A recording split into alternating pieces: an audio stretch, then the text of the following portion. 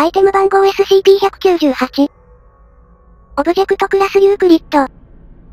特別収容プロトコル SCP-198 は許可のない接触を防ぐために、武装警備員を外に配置したサイトの安全な部屋に置かれています。SCP-198 は24時間ビデオ監視下にある封印され施錠された容器、0.5メートル ×0.5 メートル ×0.5 メートルに保管されなくてはなりません。またその鍵はレベル3以上のクリアランスを持つ職員だけがアクセスできる安全な場所に保管されなければなりません。どんな状況であっても財団職員は SCP-198 に触れてはなりません。SCP-198 の取り扱いはロボット遠隔操作を経由するものか、D クラスのテスト被験者によるものに限られなくてはいけません。198、A の事故並びに198、B の事故を考慮して、オブジェクトクラスはユークリッドに格上げされ SCP-198 の収容プロトコルが確立されました。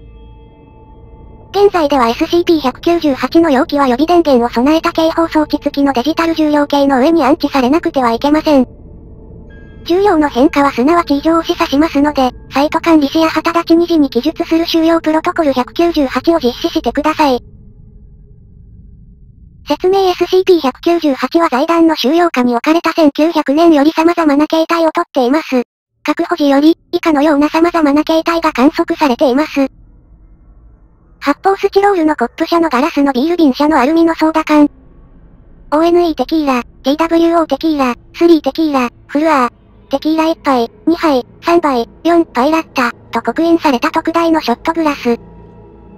部分的に剥がれた、シャラベルがついた飲料水用ペットボトル、データ削除済みなど、これらの形態は常にその形態の容器から予測されるような液体を部分的に叩いて現れます。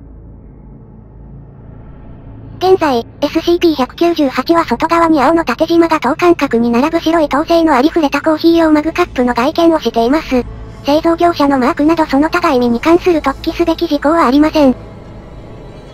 この物体に対するいかなる破壊またはさらなる研究のためのサンプル採取も成功しませんでした。非活性化状態にある時 SCP-198 は通常のコーヒー用マグカップに入れられるであろう 240ml、8FLOZ の液体を入れることができます。異常な振る舞いは、生きた人間が SCP-198 を破棄するまで現れません。SCP-198 が破棄されておよそ2、5秒後それは不可解ながらも苦痛を伴う方法で破棄者の片手または両手とそれ自身を接着させます。テストの被験者は SCP-198 に接着される痛みを、焼けつくような、または、火のように熱い、ものであると報告していますが、接着されていない観察者または測定器具からは熱は検出されていません。手袋の使用または物体と手の間に何かしら防壁となるものを置くことは被験者が SCP-198 を破棄しないでおけるほど接着過程を妨げるものではありません。さらなるテストの結果接着は分子レベルに及んでおり、破棄者の島で恒久的に続くことが明らかになっています。現在に至るまで、接着を解除する方法は見つかっておらず、破棄者の手あるいは指の切断、分離といった手首より先の怪我はどんなものでも一瞬に治療されてしまうことがわかっています。破棄者の腕にまで治療の範囲が及ぶのか検証するテストは承認待ちです。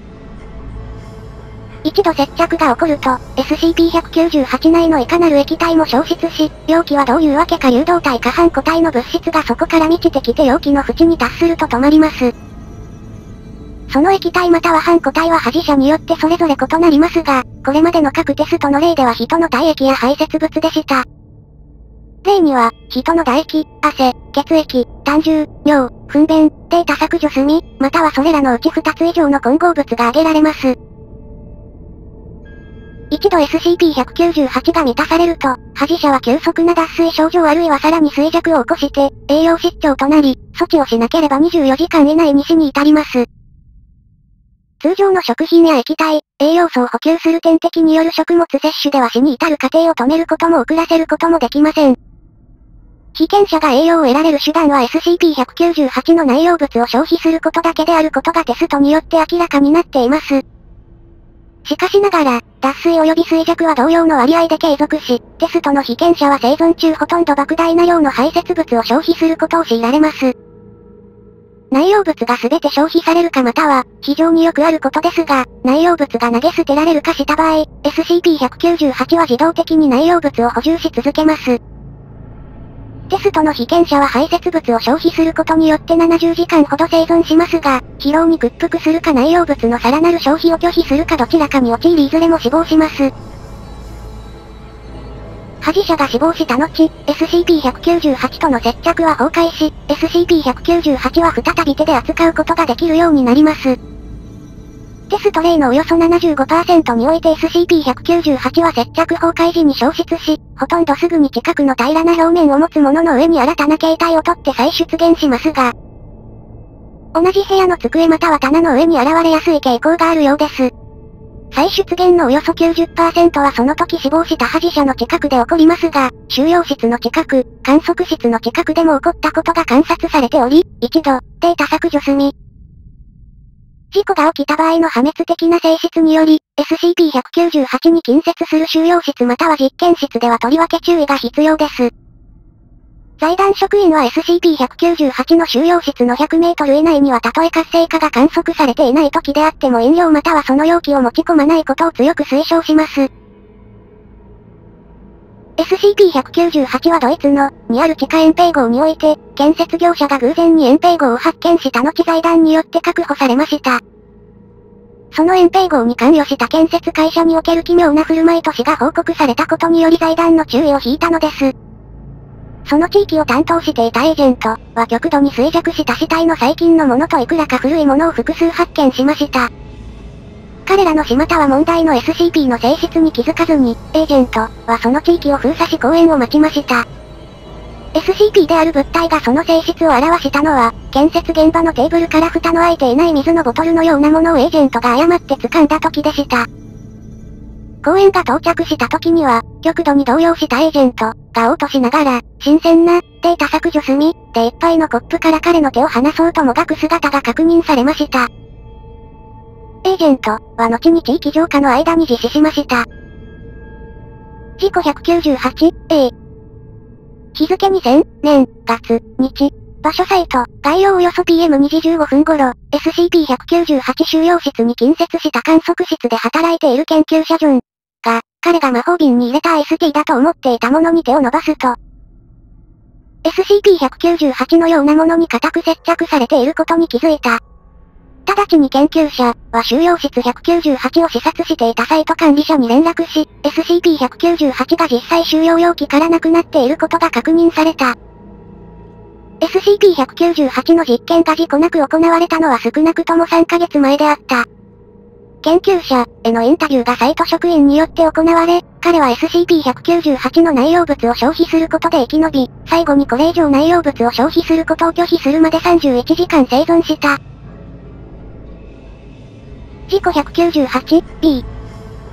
日付2000年月日場所サイト、概要およそ AM8 時頃、警備員のアルバートは、後に SCP-198 の収容室より3階下で廊下2本分離れていると判明した休憩室にコーヒーを飲みに立ち寄った。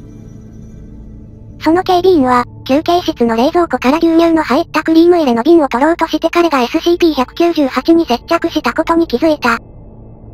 サイト管理者は再び収容違反の可能性を通知され SCP-198 の収容容器がからであることが確認された。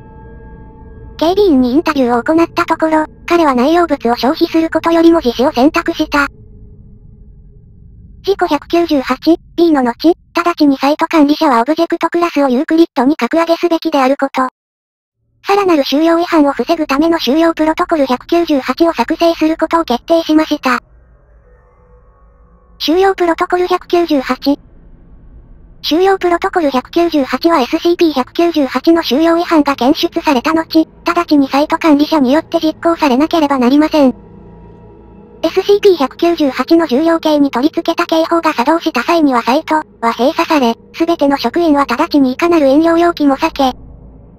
SCP-198 の位置が特定されて安全に収容されるまで施設から避難しなくてはいけません。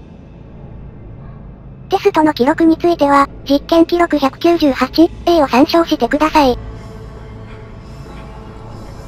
博士による SCP-198 の異常な性質に関する多様な表出についての実験記録。中 SCP-198 のテストは収容室の外側にある安全実験室で行ってください。SCP-198 はロボット操作によって別室の平らなテーブルの上に置かれなくてはいけません。実験中、すべての財団職員は監視カメラまたは安全なプレクシガラスの窓を備えた観察室から遠隔的に観察を行わなくてはなりません。財団職員は実験が行われている間実験室へ入ってはいけません。武装警備員と清掃員を実験室の外に待機させることになりますが、テストの被験者が死亡するまで入室させないようにしてください。実験 198A1 日付、年、月、日、手続きオブジェクトは水の入った小さなグラスの形状をしていることが観察されています。P クラス職員は入室して指で SCP-198 に触れるよう指示されましたが、オブジェクトを外したり持ち上げたりしないよう指示されました。結果接着は起こらず、P クラス職員は影響を受けませんでした。実験 198A2 日付、年、月、日、手続き同じ D クラス職員は SCP-198 を持ち上げるよう指示されました。結果接着プロセスが起こり、T クラス職員は驚いて叫びました。テスト被験者は直ちに SCP-198 を彼の手から離そうと試みました。テスト被験者は落ち着いて SCP-198 の内容物について陳述するよう命令されました。博士あなたの手に持っているオブジェクトの内容物について陳述してください。テスト被験者一体、何が起こってるんだ？こいつが離れないぞ。テスト被験者が SCP-198 を振り回し、液体が溢れる。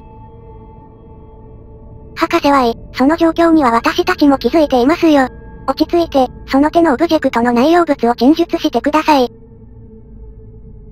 テスト被験者こや、カー否定、ムカムカするぜ。テスト被験者は少しどもり、この時点で変膝をつく。先生俺はちょっと気分が良くないみたいだ、なあ。博士現在あなたがどのような気分なのか陳述してください。テスト被験者俺、俺、弱っているみたいだ。なんだか疲れた。それに喉が渇いたよ。どうなってるんだ少し水をもらえないか、なあ博士申し訳ない、それはできないんだ。だが、おそらく君の手にある内容物は？テスト被験者お前は、ふざけてんのか、ようそんな、できねえぜ。博士好きなようにしてください。